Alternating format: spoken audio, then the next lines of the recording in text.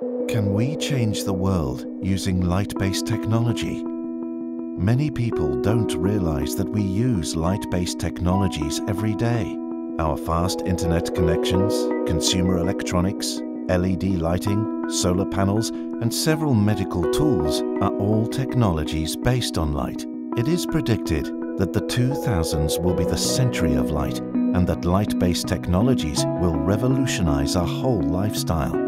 Tampere University of Technology is now leading the way in researching and controlling the properties of light, as well as developing new sources for lasers and light-controlled materials. At TUT, we are also exploring how to exploit this new technology and make the old technologies faster and better with light.